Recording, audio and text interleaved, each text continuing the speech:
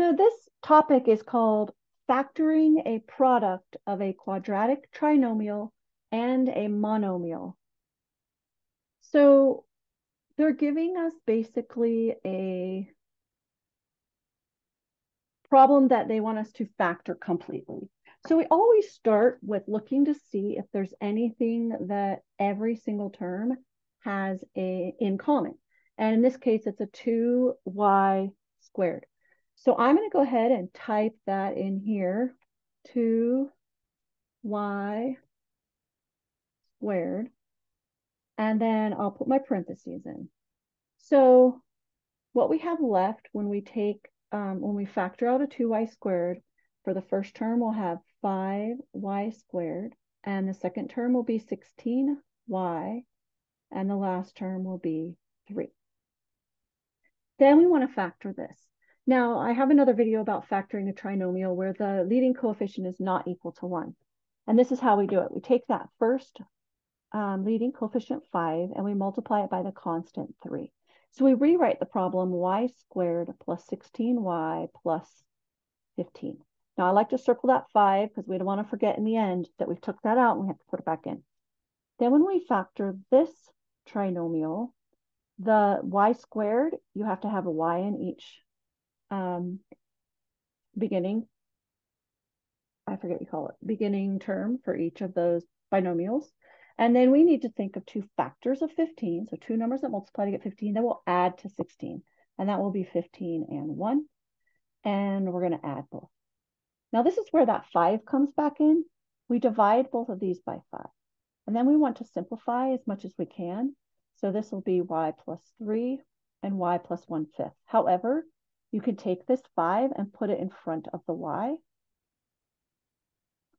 And that's the same thing as y plus 1 fifth um, 5y plus 1 is actually the same thing. Basically, we just, um, because these are, let's see, how do I, how do I explain how this would be? Um,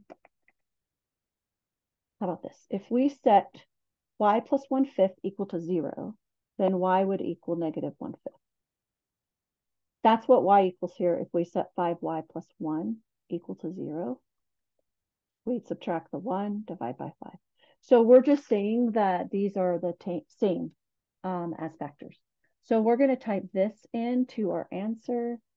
And come over here, we have y plus 3.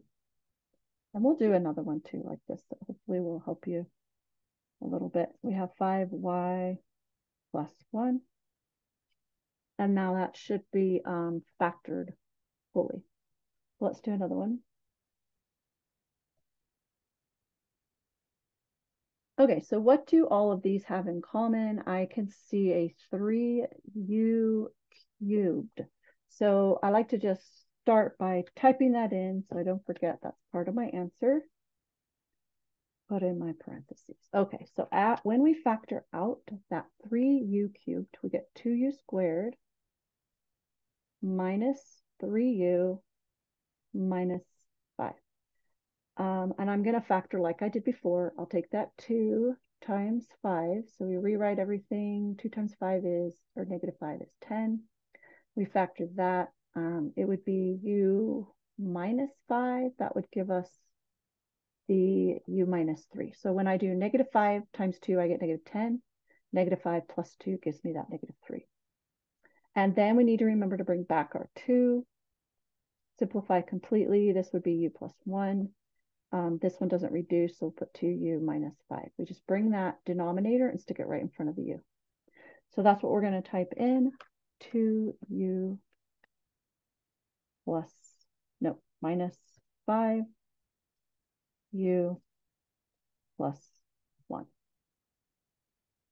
And we should probably do one more just so you have three examples that you can look at um, all right, here we go. So let's see. This has three, three, two, two, two, two. Okay. They don't have any, but they do have a W to the fourth. Okay, so we'll just start with W to the fourth power. Okay, so we're going to factor out W to the fourth. So we have 9 w squared plus 24w plus 16. So 9 times 16, let's see, what is that? 9 times 6, 54. Add the 5 to 9 is what, 14. Oh, 144. Okay. So we have w squared, oh, circle the 9 so I don't forget, plus 24w plus 144.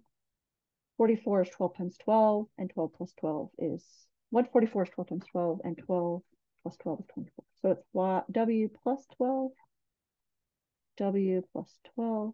Interesting. We divide them both by 9, reduce, and we got 4 thirds. We could take that 3, move it in front of the w, 3w plus 4. Because they're both going to be the same, we can just put a little squared right there. 3w plus 4. Oh, I thought I was in there. Even that happens. 3w plus 4 and parentheses squared. Okay, that's the end of the lesson.